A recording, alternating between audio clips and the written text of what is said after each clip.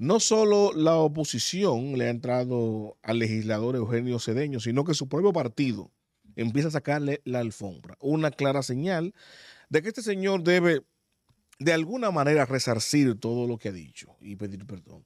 Si bien es cierto que yo he tratado de ser y he sido una persona, pienso, más objetiva en, en torno a las expresiones de Eugenio, porque inclusive hice la indagación y dentro de todas las cosas que dijo, el diputado por lo menos ha sido coherente. Ha sido coherente en mantener su posición eh, retrógrada, diría yo, de alguna manera. De, sí, sí, sí, retrógrada. Una, vaina de un pensamiento del siglo XV.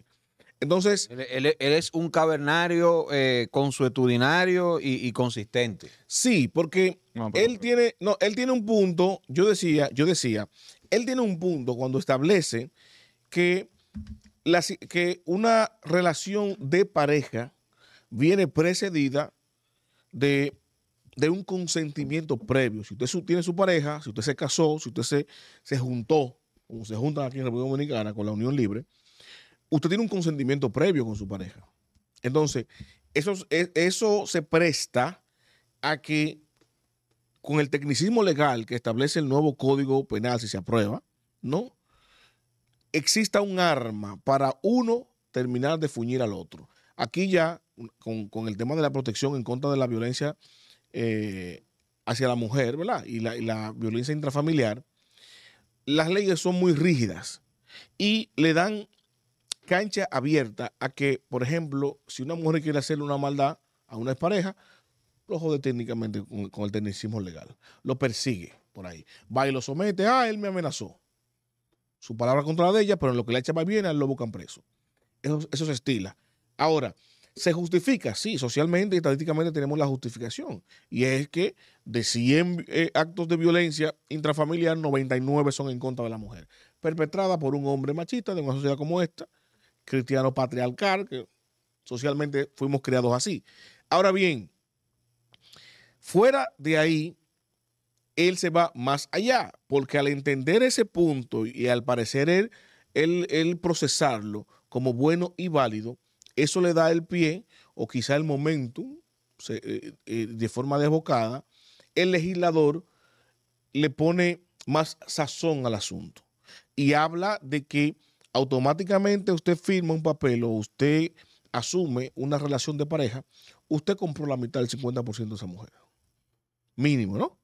Pues dice, no, nosotros no es lo mismo que una persona, un hombre a una mujer, la obliga a tener una relación no consentida a que un marido a su mujer. Si es un hombre o una mujer por la calle, eso sí se puede tratar como violación, ¿verdad? Pero si es dentro de la pareja, dice él, etiquétela de violencia, etiquétela de maltrato, pero no de violación, porque es su mujer. Escuchen los retrógradas de esas declaraciones. Entonces, cuando me puse a buscar, no es la primera vez que lo dice. Él dijo exactamente lo mismo en 2021. claro. Lo mismo. Y, su mediatura hablando de eso. Igual que lo que haciendo ahora, igual.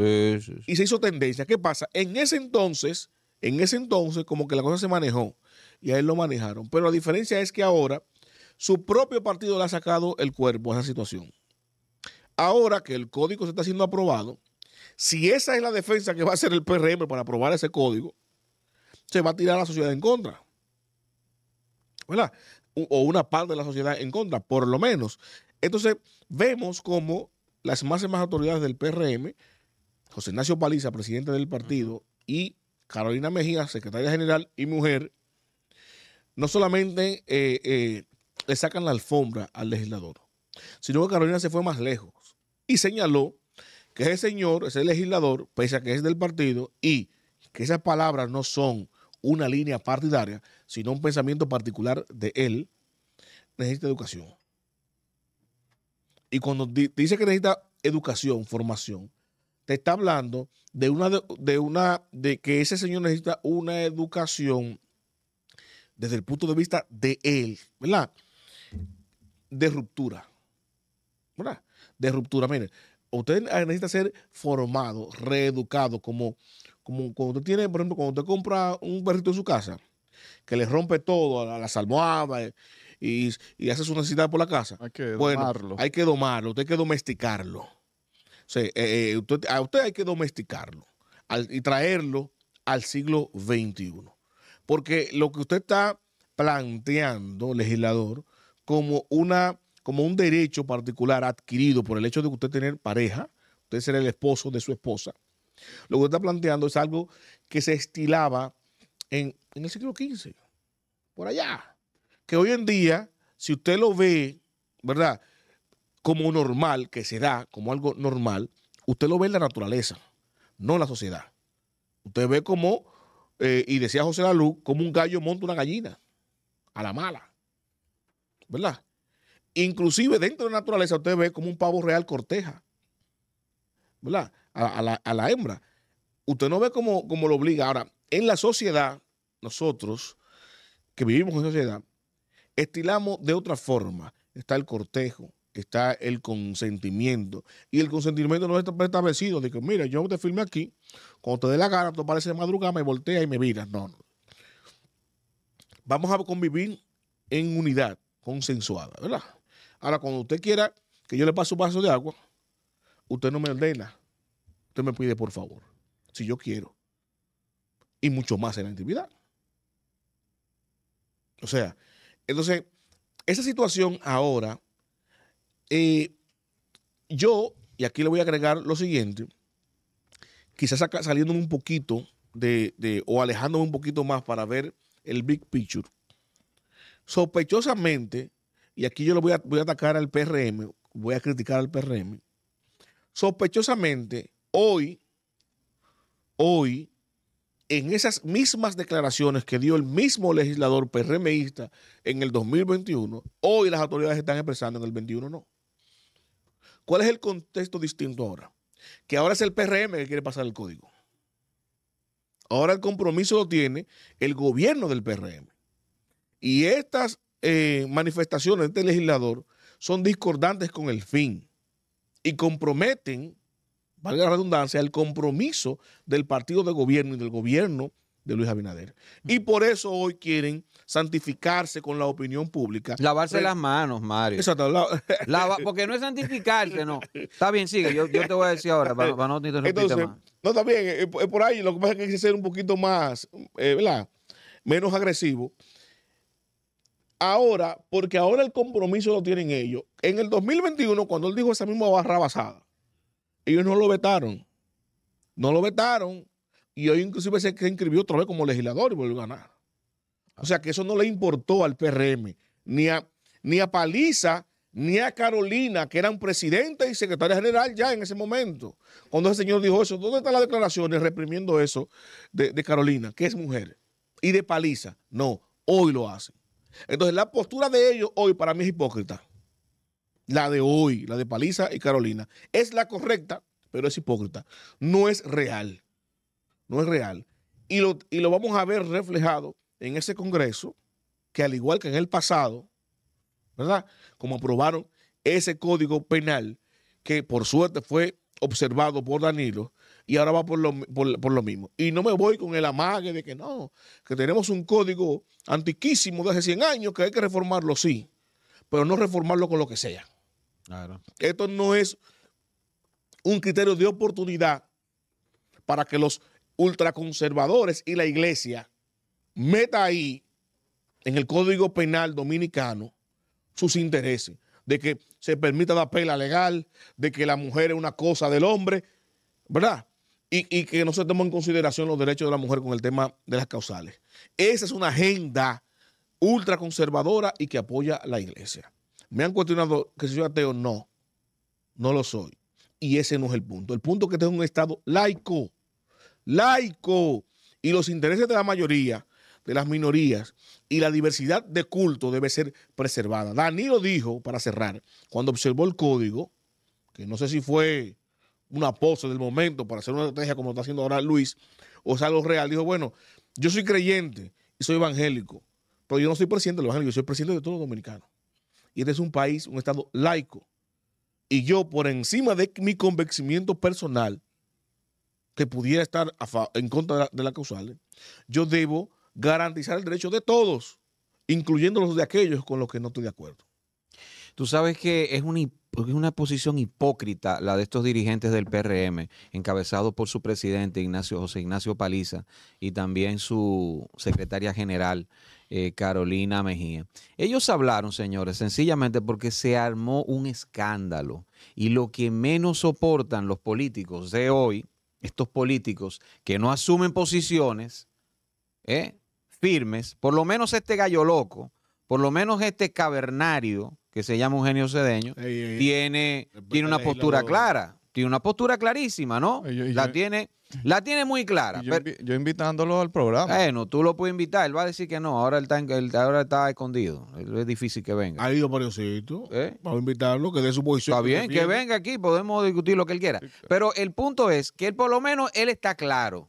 Y mira lo que dice Mario de 2021 no causó tal revuelo porque ahí tenía el blindaje total de la Iglesia Católica, de todos esos grupos religiosos que estaban ahí haciendo ese lobby muy fuerte eh, en contra de, las tres causales. Y bueno, e, el, hombre, el hombre pasó por ahí, por Go. Ahora, este tipo de declaraciones no son indefendibles. ¿Por qué son indefendibles? Porque aún teniendo razón y no teniendo razón, vamos a ver, digamos que se podría hablar del tema de que, ah, bueno, que quizás no es la misma sanción, y él mismo lo dijo, y es verdad, no es lo mismo que yo me quite el preservativo con mi pareja y quiera embarazarla, así tengo una enfermedad de transmisión sexual eh, muy, ¿verdad?, que tiene eh, eh, repercusiones graves, como aquel, ¿no? no, creo, no, para no lo penalicen, el mismo, ¿no? Que se descubrió en el, en el 81, ¿no? Y que, y que causó muchísimos estragos y hoy se puede tratar exitosamente con retrovirales, pues ok, no es lo mismo. Pero mi hermano, alguna sanción usted tiene que merecer por eh, romper ese consentimiento. Si esa mujer le dice a usted, mira, yo no quiero quedar embarazada. Mi hermano, no. Sencillamente no, no, no, ya, punto. Eso tiene que ir por lo menos al Código Civil eso, aunque no tenga la misma repercusión, Mario y, Maracayo, que, que, lo otro, ¿no? Pero debe tener una sanción. Pero eso fue eso es lo que él dice. no, no, pero él dice que no debe ir ni siquiera al Código Civil ni al Código Penal. Él lo dijo en su declaración. él, dice que él piensa eso, pero, pero que en la legislación, que en el Código Penal se estableció una sanción distinta a aquello porque no es violación, pero se sancionó porque no debería ser. Ahora, su consideración particular, que fue lo que él agregó, él dice, eso no debería ir no debería para ninguna parte, pero tiene, eso debe, eso tiene una sanción y debe tener una sanción. Ahora, lo que molesta, lo que molesta es cómo el PRM tiene ese doble rasero, pero un doble rasero rampante. ¿Qué dice el señor José Ignacio Paliza en la declaración de ayer? Señor, él no dijo, él, dijo, yo soy de la Águilas y también soy del Licey.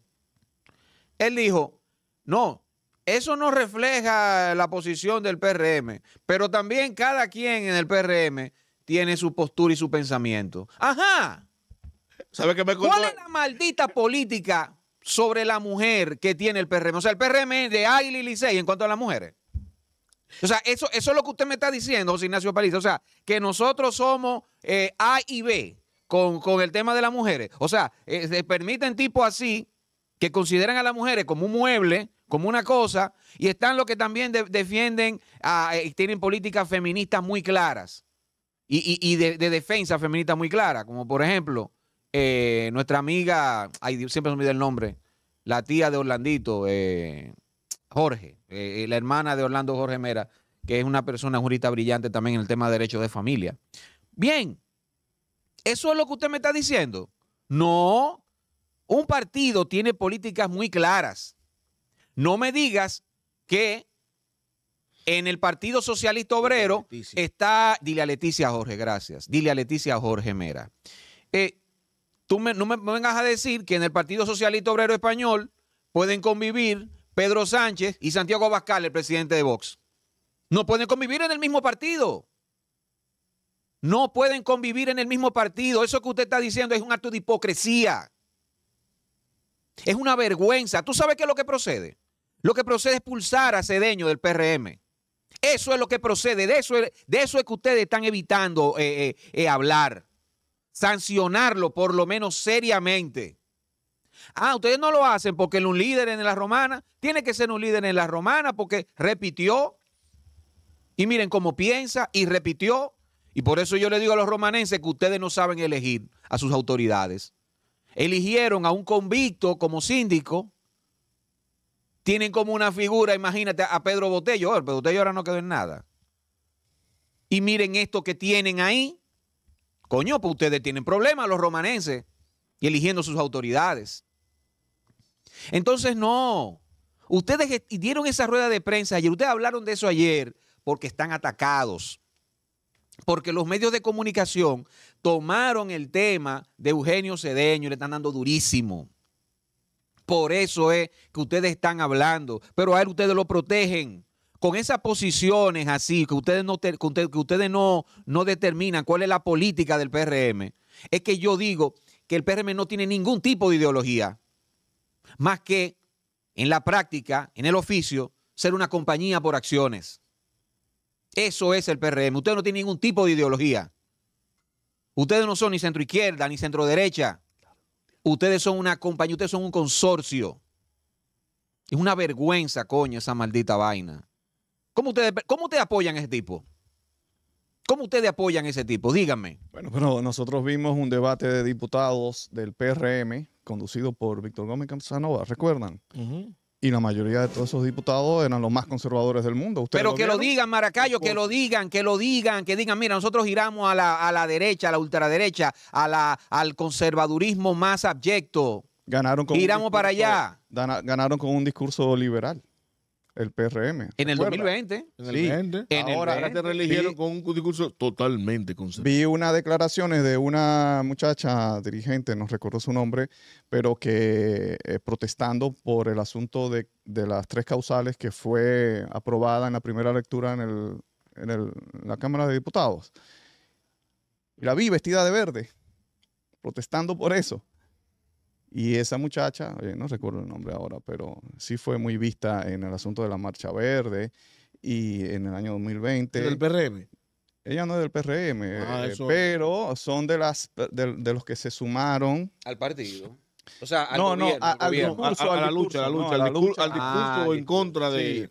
Y vemos ahora a ella indignada y dice que ese código es un código eh, que lo manda el, el presidente Luis Abinader, porque aprobado en menos de dos semanas por las dos cámaras, se ve que hay una premura y que, hay un compromiso que honrar. Y ella dice, ¿quién bajó esa línea tan poderosa? Evidentemente, y ella lo dice, ese es el código de Luis Abinader.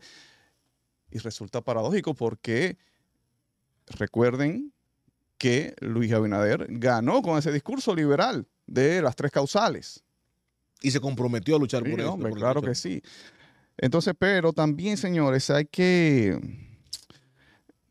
Es importante, Edwin, eh, lo que dice este, este diputado, porque tenemos que ser conscientes de la realidad del pueblo dominicano.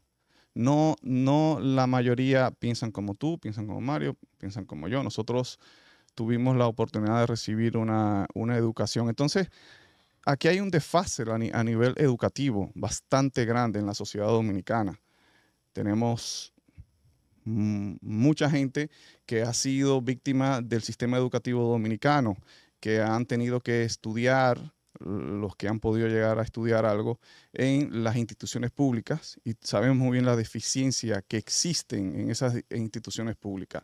Muchos otros que no son la mayoría tienen pues contaron con unos padres que se esforzaron muchísimo para brindarles una educación un poco de mejor calidad que está fuera de las instituciones públicas. Entonces, eso, esa realidad, lo que presenta ahora mismo es ese desfase. Vamos, métete a uno de los barrios más populares y a una encuesta a ver si ese no es el discurso de, de Cedeño que prevalece allí. Entonces, esto es un asunto que, que se da por también, y hay que decirlo, porque por más educación que un, grupo pueda tener, no puede implementar leyes de la noche a la mañana sin conocer realmente la realidad del pueblo dominicano, de la inmensa mayoría, de que tiene esa carencia de educación. Este es un código que, código que se está hablando que, que está desde 1884. En esa época, y tú muy bien lo sabes, Edwin, se discutía aquí, grandes pensadores de esa época de Latinoamericana, de Latinoamérica, discutían el hecho de que nosotros no podemos importar eh, leyes del extranjero. Nosotros tenemos que conocer nuestra propia realidad y en base a esa realidad adaptar las leyes.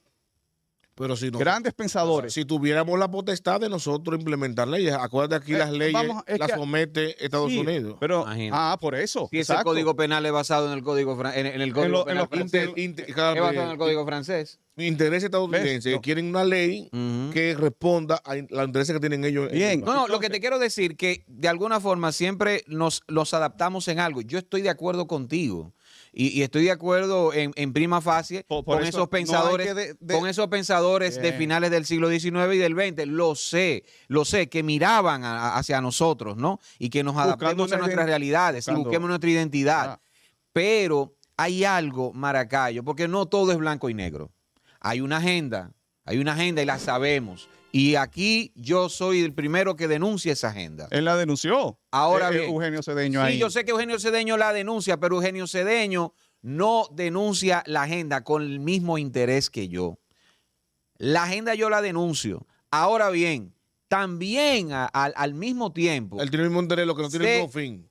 exactamente, vamos a decir que tenemos, vamos por rutas diferentes. O sea, Correcto, denunciamos una agenda, ahora vamos por rutas diferentes. correcto. Yo, yo lo que quiero decirle, eh, a- a- amigos, es que eh, al mismo tiempo que debemos adaptar el derecho a la realidad dominicana, tenemos que ir quitando, eh, tenemos que ir desmontando esa superioridad con la que nos han criado a los hombres sobre las mujeres. Porque es así, Maracayo.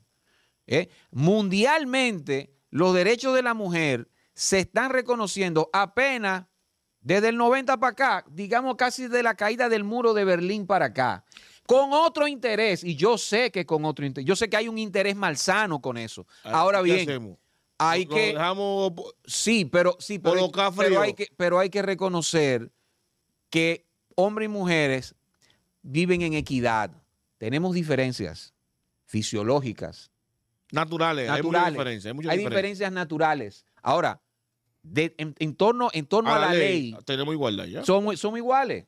Entonces, yo creo que eso hay que pre- eso debe prevalecer, Maracayo, porque el problema y el peligro de los Eugenio Cedeño es que, como decía Mario al principio, mantiene esta vaina en una era cavernaria, en algo, en cultura que no nos pertenece, que no es nuestra, Maracayo, porque ese tipo de superioridad del hombre puede estar en ciertas sectas, en ciertas denominaciones del Islam, y eso es problema de ellos. Eso es problema de ellos. Ahora, yo no soy islamista. Y este país tradicionalmente es cristiano y mayormente ya, católico. Es cristiano, ya. Sí, Ya lo dijiste. sí, sí, pero incluso la lectura del catolicismo no debe ser esa, esa, esa del dictador. Porque yo sé, yo sé el valor del cristianismo, pero yo sé el valor del cristianismo fundacional, El cristianismo es patriarcado. el de la ¿ah? justicia social, mi hermano. Mm. Justicia social. Bueno. Justicia social. Pero, va- Hasta ahí. pero dirigida oye, por los hombres. oye, hasta ahí, no, justicia social. Dirigida por los Hasta ahí, Vamos, vamos, vamos, vamos. que Hasta- los papas son hombres, vamos. mire, mi hermano, ¿Eh? Y las hasta monjas ahí, que juegan en la iglesia católica. Hasta ahí, hasta ahí yo reconozco el valor. hay una papisa, yo te Ah, aviso. Oye, a- hasta Esa ahí yo, realidad. oye, hasta ahí yo reconozco el valor del catolicismo, pero eso hay que cambiarlo, Maracayo, porque está bien. Ah, Está bien. Ahora está bien, pero una pero cosa, está bien. primero hay que... esa es la realidad de nosotros, pero está bien. Ajá. Está bien entonces que yo decida por una No, mujer. no, no. Mira, coño, yo me voy a quitar esta vaina. No, y no, tú- no, no. Está bien que el debate se Pero- ponga en la mesa. Pero está bien, no, pero Está tú bien me- que el debate Entonces, se lo, ponga que- lo digo Es de la que digo, realidad, pero está el bien. fin del legislador, aun- eh, o sea, tú ves, aunque su objetivo no es el mismo, pero el- el- eh, su intención es la misma. O sea, él está haciendo una rebeldía a la agenda que se está implementando desde su forma cavernaria, contradictoria, retrógrada, es verdad. Pero el tipo está defendiendo, defendiendo la posibilidad de que la sociedad, y él es parte de ella, ¿verdad? luche por su propia idiosincrasia y por su propia lectura e implementación de leyes. Que no es la correcta, no es la correcta. Ahora, con la que él está batallando, que la agenda, tampoco es la correcta. Entonces, lo que estamos sumergidos ahora, en lo que estamos sumergidos ahora, es que el gobierno actual junto a sus legisladores, los que ganaron, que se metieron en un partido supuestamente tendiente a centro izquierda, que es el PRM, igual que el PLD supuestamente, que nace de un PRD, centro izquierda. Y todas las posturas de todos los legisladores que ganaron ahí, que son la mitad de Luis y la mitad de Hipólito, son todos conservadores. Ahora. Se disfrazaron. Ultra, conservadores. Coño, se disfrazaron, se metieron en un partido supuestamente. Claro, para venir a meterse ahí a la colada e implementar un de cosas. y, yo, hice la crítica siguiente, porque se están comiendo a, Eugenio ahora, ¿verdad? Porque él eh, lo manifestó. Ahora, Faride fue, hizo quórum para aprobar el código. Así mismo es. Y Faride que batalló en contra de eso. Exactamente. Todo el tiempo. Coño, Tú no eres tonta, tú eres inteligente. ¿Por qué te quedas ahí y que a votar en contra? ¿Se le cruzarte, coño? Para estar bien con Dios, con el diablo. Ahora, eh, Eugenio pone... Igual que Iván Lorenzo del PLD también. Eugenio pone un ejemplo... Eugenio, el diputado pone un ejemplo práctico que es muy interesante y que habría quizás hasta que discutir en otro, en otro corte. Y es cuando él dice, bueno, de aprobarse eso así, el hombre también entonces tendría el derecho de ir a acusar a la mujer que quedó embarazada sin el consentimiento del hombre. También. Y ir a acusarlo. Y, vamos a ver que aquí hay muchas historias. Vamos a ver, aquí hay muchas historias de hombres. Pero está mal. Hay muchas historias hechas por. estas historias las, mayormente las hacen las mujeres. Muchas mujeres se, se, las, se las cuentan a sus hijos como consejo. Ten cuidado de esa mujer, que lo que te quiere pegar un muchacho, que te quiere amarrar con un muchacho. Entonces, es decir, que en el momento que, también hay otra frase popular. hay otra frase popular. Adelante. Muchacho no amarra a hombre. Ah, e-, esa es la contra. No, pero esa es la contra. Pero la intención femenina con eso es amarrar al hombre. Y se le preñan al hombre. Ya el hombre va a tener derecho. Lo que dice Eugenio. O sea, lo que va viene. Lo que va viene. Así como yo la quiero preñar, si ella quiere preñarse, ¿la puedo yo meter presa? Vamos. Y él tiene un punto, yo he dicho. Cuando él habla, excusa Maracayo, cuando él habla de que el hecho de que, porque hay, póngalo en contexto sobre la mesa, señores, póngalo en contexto, ustedes lo, lo van a entender. Cuando él habla, yo tengo mi esposa, ¿verdad? Y esto es algo mancomunado. Y tenemos en ambos, cuando nos casamos, ¿verdad? Previamente el consentimiento de que vamos a separar y que queremos tener un hijo en un futuro, cuando decidamos. Si yo hoy me levanto, que yo quiero tener un hijo hoy, y yo estoy con mi esposa con la intención de embarazarla, y ella no está de acuerdo, y quedó embarazada coño, me van a meter preso por eso. Él dice, eso no se debe porque somos pareja. Otra cosa que ella no quisiera quedar embarazada. ¿Cuáles son las alternativas? Bueno, a hacer la patilla del día después. No cárcel para el marido. Él dice, ahora, si yo la violento, la amenazo para tener relaciones, eso, es, eso es desdenable. Eso está mal.